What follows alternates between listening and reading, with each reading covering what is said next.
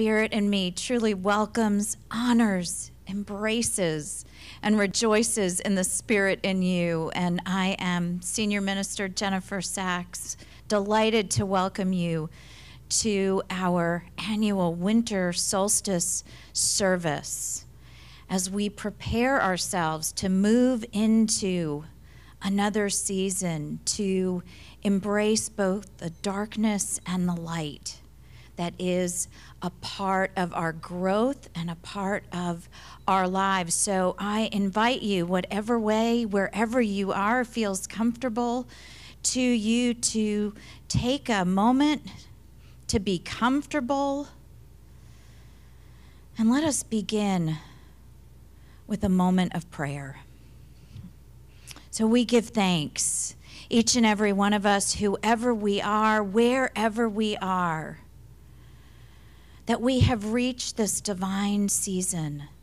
We are grateful to have reached this time in our lives to know that no matter what has been going on in the world, that we can tap into those rich and wondrous blessings that are the gifts we receive in this sacred season. As we take a moment and connect with that deep breath in our bodies, as we take a moment and feel that presence of God in the midst of us. We know and claim and affirm a new season, a new time in our lives to grow and to glow in the wonders of our lives. For so many gifts we receive in this season and so many blessings, we are truly grateful. And we say, Thank you, God. Wherever you are, I invite you to say that with me. Thank you, God. Amen. And it is my delight to welcome back Gabriel Nelson Sears, who is going to bless us this evening with a time of sound and silence. And however you are tuning in with us tonight, we invite you to let the sounds and the silence embrace you, to bring a sense of healing and to bring a sense of joy in this holiday season. It's always a gift to have Gabriel Nelson with us, and I know that we are in for a treat. And so, without further ado, Gabriel Nelson Sears to take us on our journey this evening. Thank you, Reverend Jen. It's an honor and a delight to be here with you all this evening once again at Unity Atlanta. You know, the winter solstice is my favorite time of year for the mysteries and the symbolism of many cultures and religions come together in this wonderful way, mirroring each other and the teachings and the ways of being in the world at this time. Also, numbers, patterns, designs, become imbued with a heightened appreciation or resonance. In Christianity, for example, there's the symbol of the cross, which has four points along with the center. The Native Americans use the medicine wheel as a metaphor for life, with the human being as the medicine bag. And the wheel, as we know, has the four directions and also the center the center as the fifth place on the wheel of life is a vast, empty place in which we journey for guidance and vision. The wisdom of paganism is represented in three worlds the underworld, the middle world or midworld, and the other world, each representing cycles of existence with learning and development in each. So there's circles and cycles and spheres within spheres. And we ourselves live in three dimensions. We're, we are in a three dimensional world, and which also includes our concept of time. You know, it is possible for us to think in the past, present, and future simultaneously. And in doing so, we are actually creating multiple dimensions of being. For energy goes where thoughts flow. So the winter solstice is a time of reflection and rest. According to Native American elder Joseph Rael, known as Beautiful Painted Arrow, winter is represented by the north as the fourth place on the medicine wheel. It is the direction of the spiritual in the circle of life. The spiritual blowing through the circle, through the hollow bones, gives life to everything. The north on the medicine wheel is where we know our path and know our next step. It is the mother's womb where our soul meets physical form to become that perfect expression of the divine. In thinking about tonight's service, the Charles Dickens epic, A Christmas Carol, came to mind. You know, in it, we all know the story. It features the wealthy miser Ebenezer Scrooge and Ebenezer is visited by three ghosts on Christmas Eve the ghosts of Christmas past, present, and future. And these ghosts transport him into other dimensions as a passive observer who, in reviewing his life, experiences a transformation, a heart opening metamorphosis. Inspiration for tonight also came from the great poet Rumi, who said, Silence is the language of God. Silence is the language of God. All else is poor translation. And so, this solstice winds sound journey that we're about to embark on this evening includes periods of silence in between the sound. The intention was to create and will be to create three interludes in which you are invited to go within to review your own life over this past year, to reflect upon where you are now, and begin sorting the seeds to plant in the spring, just as the farmer uses the winter to rest, take stock, plan, and prepare for the coming spring. These three interludes then represent multiple dimensions of past, present, and future with silence in which to listen to the language of God. The sacred space creating, created this evening is an opportunity to slow down for an hour to honor the rhythms of the solstice and of your own beating heart. The sounds that come forth are drawn out through your individual and collective needs. I'm merely the channel, which the sounds emerge from as they are called forth from you after the last moments of silence at the end of the meditation, you'll hear the drum again, which will bring us back into this time and space. And so, for those of you who are here with us tonight, and those of you who are live streaming, I invite you to get comfortable. Uh, again, I know that uh, it can be, um, I find myself when I watch live streams or listen to sound meditations on live streams, I want to look um, it's not the same experience. So I really do encourage those of you at home to close your eyes so that you really are swept away by the collective consciousness that is being created in this experience to have your own personal journey on this solstice.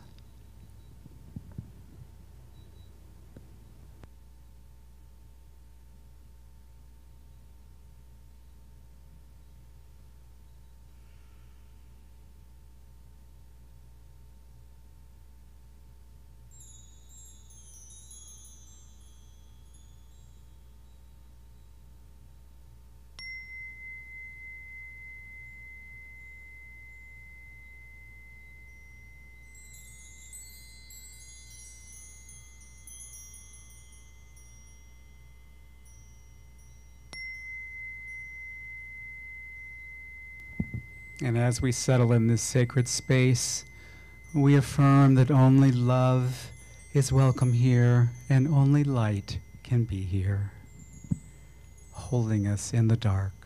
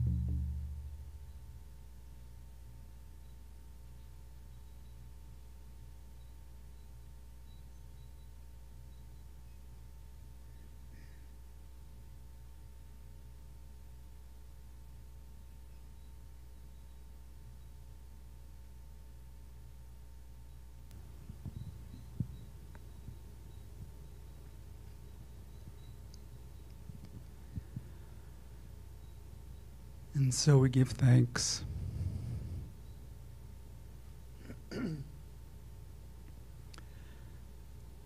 thanks for the sound. Thanks for the silence through which Spirit speaks.